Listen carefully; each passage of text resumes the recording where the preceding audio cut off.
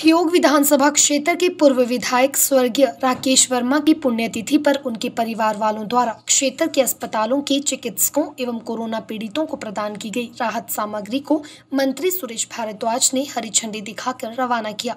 शहरी विकास मंत्री सुरेश भारद्वाज ने बताया कि यह सामग्री ठियोग अस्पताल, प्राथमिक स्वास्थ्य केंद्र मतियाना, प्राथमिक स्वास्थ्य केंद्र धर्मपुर, बलोक, माहौरी, प्राथमिक स्वास्थ्य केंद्र बड़ा गाँव एवं कोटगढ़ में वितरित की जाएगी।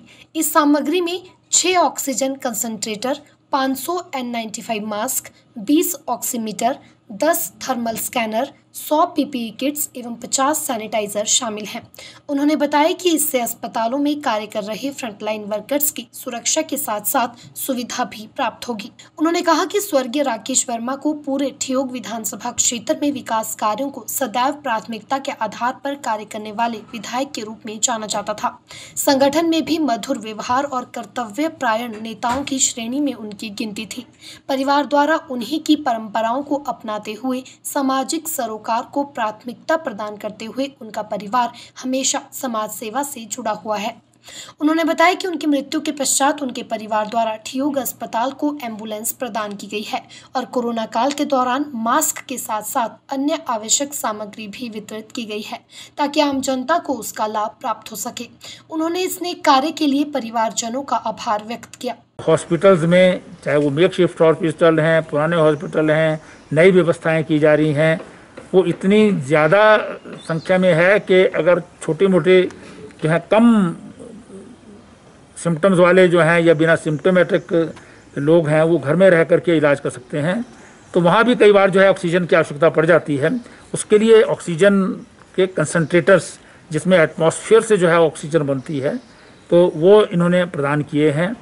मैं हिमाचल प्रदेश सरकार की ओर से श्री आर आर वर्मा जी इनके सुपुत्र श्री एकलव्य वर्मा जी और इनके सारे परिवार का बहुत बहुत आभार व्यक्त करता हूँ।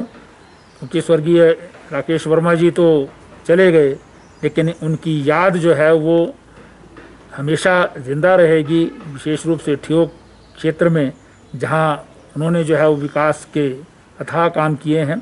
और आज भी उनका परिवार जो है वो उनकी याद में इस क्षेत्र के जो कोरोना पीड़ित लोग हैं, उनकी मदद में आगे आ रहे हैं। इसके लिए प्रदेश सरकार की ओर से मैं बहुत बहुत धन्यवाद करता हूँ। वहीं इस अवसर पर स्वर्गीय राकेश वर्मा के पिता एवं पूर्व DGP Himachal Pradesh R R Verma ने भावुक होते हुए कहा कि आमतौर पर बच्चे अपने माता पिता से सीखते हैं, लेकिन उन्हें अपने बेटे से काफ़ी कुछ सीखने को मिला है और उन्हें इस बात पर गर्व है कि उनका बेटा हमेशा गरीब व जरूरतमंद लोगों की मदद के लिए आगे रहा। उन्होंने ईश्वर से दिवंगत आत्मा को शांति प्रदान करने की प्रार्थना की। बस में राकेश मेरा बेटा था। बेटा की तारीफ़ करना पिता के रूप में मुझे इतना अच्छा नहीं लग रहा है। पर एक दो चीज़ मैं ज़रूर कहूँगा। आम तौर पर बेटे जो हैं या बच्चे जो हैं, वो माँ बाप से सीखते हैं। पर मुझे स्वाभिमान हो रहा है ये कहते हुए कि मैंने मैंने भी जो उनका पिता हूँ और काफ़ी जगह काम किए हैं, आईपीएस अफसर हूँ। जगह जगह लोगों की सेवा करता रहा हूँ और मैंने अनुभव भी प्राप्त किया है। पर एक बात कहते हुए मुझे खुशी हो रही है, स्वाभिमान के भाव से कह रहा हूँ मैं कि मैंने भी राकेश से कुछ ज़रूरी चीज़ें सीखी। आमतौर तो पर बच्चे पास से सीखते हैं, पर मैंने अपनी बेटे से सीखी है। वो दो तीन चीज़ें उनमें से एक थी, उसमें एक साहस था, संयम था और सेवा भाव इतना भरा हुआ था, विशेषकर गरीबियों के प्रति और पिछड़ों के प्रति। मेरे मन में ज़बरदस्ती कहने को आ रहा है ये कि अभी इस कोरोना के काल में बहुत सारे लोग इस देश में ऐसे थे जो भूखे, बेचारे, गरीब आदमी अपनी जगहों से, अपने घर जहाँ काम करते थे, वहाँ से अपने घर जाना चाह रहे थे। तो वो बेचारे भूखे मरते थे रास्ते में। शाम को बैठे थे हम। मुझे याद है अच्छी तरह से। कहने लगा, पापा, आपके पास दस हज़ार तो नहीं? मैं चुप रहा। मेरी धर्म पत्नी ने कहा हाँ हाँ राकेश मेरे पास है। मुझे नहीं पता क्यों ले रहा था उधर से। दूसरे दिन सुबह साढ़े बारह बजे, मेरे को बताया, पापा, आप क्यों खामोश रह गए थे कल? मेरे पास नब्बे हज़ार था। मैंने एक लाख पूरा करना था। मैं सीएम साहब को दे के आया हूँ भूखों को दे दे और यही भी दूसरी बात और। वो उसने बेचारे ने एक लाख और देना था। था छिहत्तर हज़ार उसके पास। मेरी बहू के पास छोड़ा उसने वो छिहत्तर हज़ार और बोला इंदू जब ये एक आ, एक आध महीने में पूरा कर लूँगा एक लाख ये भी मेरे देना है। वो उससे पहले चला गया भगवान की मर्ज़ी थी। पर इंदू ने मेरी बहू ने अपने कुछ पैसे उसमें डाल के वो लाख जोड़ दिया और उनके निधन के मेरा ख्याल है, एक हफ़्ते के बाद ही एकलव्य को भेजा कि ये भी सीएम फंड में दो उन्हीं को मिले जो भूखे मर रहे हैं।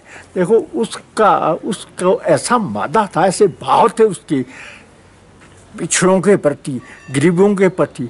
और सड़क बनाने में तो उसको पागलपन था।